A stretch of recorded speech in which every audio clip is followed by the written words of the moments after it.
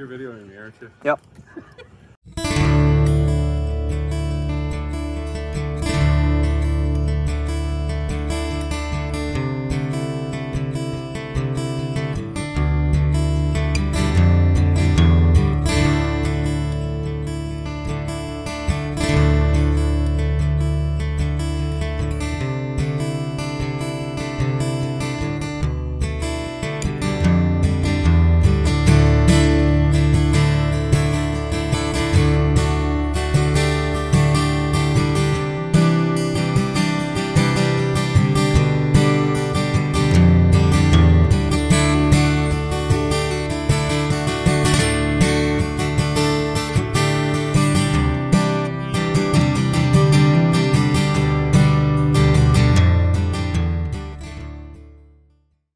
Welcome to another episode of the Camo Chef.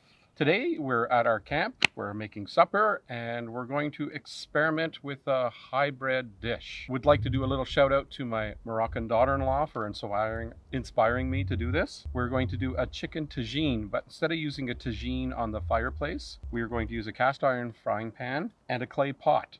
Same principle as the tagine, but it's kind of a makeshift tagine that's a little more hardy for the outdoors. I uh, would not recommend doing this if you're backpacking or canoe tripping, but this is definitely something for the cottage or car camping trip or whatever you'd like outside on your barbecue probably. So we're going to start by warming up the cast iron frying pan. The entire principle is that this will sit over top of the frying pan with the chicken inside. The chicken will be standing upright, almost like the traditional beer can chicken. We have a couple of options here. We could use a beer can to prop the chicken up with some moisture in it. I have one of these fancy devices for specifically doing this kind of style of a chicken. So we're going to try that. A word about the clay pot. It's just not a normal clay pot. We did buy a normal clay pot.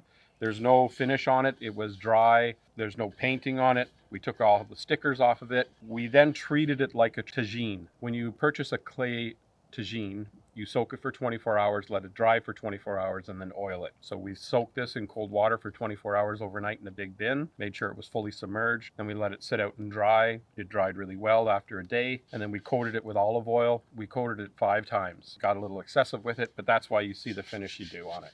We fully anticipate this to be blackened by the time we're done and be full of chicken juice, but that's okay because this is something we wanted to try and we're going to try it. Ingredients. I have a whole chicken that I started this morning with some olive oil and five cloves of garlic. That has been marinating all day in my fridge. We brought it out here in a cooler and it looks and smells delicious right now. The other thing we're going to do is dust it with parsley. Unfortunately, our grocery store did not have fresh parsley today, so I am putting dry parsley on as a rub. I'll save some of that for the other side. The secret ingredient to all good chicken tagines is preserved lemons. And again, my Moroccan daughter-in-law is teaching me some culinary magic. These lemons are homemade. I made them at home in a mason jar, cut into wedges, covered with coarse salt, and just shake them every day. Within five days, you have this salty, lemony brine lemons that are preserved and quite delicious when you add them to chicken dishes. That is our ingredients. That's it. I could add an onion to this. Today we chose not to. I could also add peppers, tomatoes, whatever your fancy is. Depends on the depth of your frying pan though. The lemons themselves, you don't just put them in whole, you slice them up a bit. The little bite-sized chunks. So I'm just going to prepare that and then we'll get the chicken all set up. Literally sitting up. So the chicken's going to stand upright with that cone up its butt. Okay, so principles of cooking on a fire. I'm feeling one, two, three, four, five. We're looking at 350, 325 for temperature right now little operation here. Hopefully this cone fits. This is definitely not the cone of silence off of Maxwell Smart. I'm going to throw some garlic down on the inside too, just to help with the aroma and the flavor. Rub everything around really well and do this fancy balancing act that takes a little bit of patience. I'm not going to waste any of this marinade and that smells delicious. You'll notice too that I'm cleaning my hands after handling chicken and I will wash them shortly as well. At this point, everything I'm touching is going to be cooked with the chicken anyways. So we're going to add a little moisture in the bottom of the pan. Probably about two cups of water. You could use wine, you could use apple juice, you could use whatever you prefer. I was debating using something like a Five Alive juice drink or not. I'm going to put a few of these lemons on top and some in the water. And I'm going to add a bit of the brine, but I'm going to be careful not to add the seeds. So the brine has salt in it, so I'm not going to salt this chicken too much. I'm going to be very cautious about that. I have a little bit of coarse salt here. Just going to put a little on just to be sure, draw out the flavor.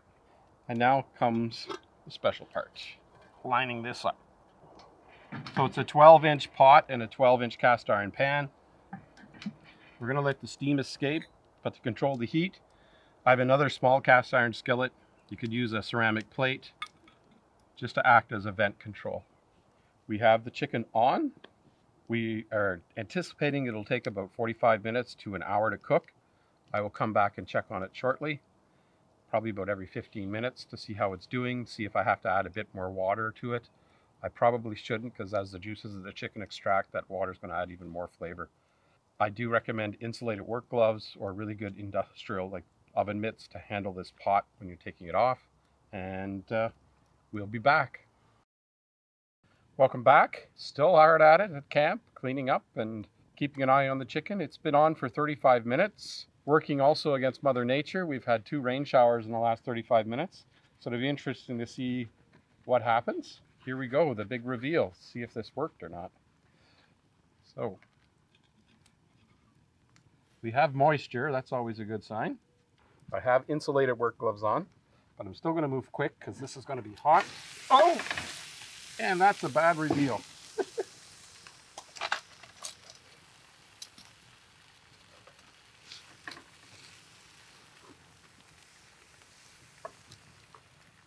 Saved the chicken. So, the good news is we saved the chicken. The bad news is I need to go get my eyes checked because my perception's off. So far, everything's doing wonderful. We're going to do put some more moisture in that pan because I can start to see some of the bottom drippings caramelizing. So about another cup of water. Just going to give this a light stir. Make sure things don't burn on the bottom. And as I'd mentioned earlier, the chicken is basting itself in its own steam as it cooks. The aroma is phenomenal. Everything's going according to plan. I said it'd be about an hour. It's been 35 minutes. We're a little over half. Things are going great. I'm going to put this back on carefully.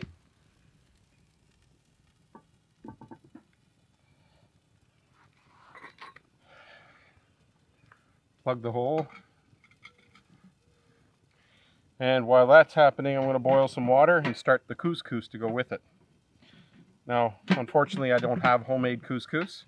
I just have the stuff you buy at the store and in the bag. So this is uh, a large batch of couscous. This is just the water boiling. I've already measured it out, two and a quarter, well, two and a half cups, a quarter, a cup and a quarter for every cup of couscous, cup a quarter water.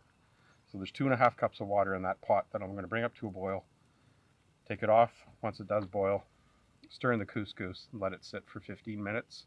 Fluff it with a fork and we'll have supper ready. Timing is everything. And that chicken smells so good. Okay, we'll be back. Welcome back for the big reveal. So the chicken's been on for a little more than an hour. I'll be a lot more careful this time, I hope. It smells delicious. We lift it straight up.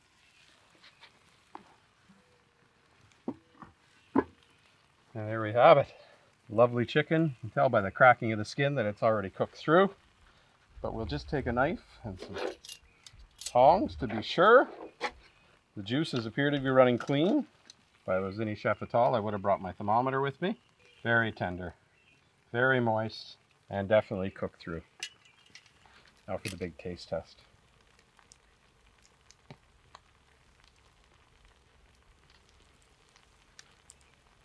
Mmm. Very good. You really taste the lemon from the preserved lemons and the, the parsley and garlic with that hint of earthy flavor from the olive oil. Quite delicious. So we're going to take this over to our table and enjoy a big supper together after a hard day working at camp. Whatever you do, though, get the fun outside.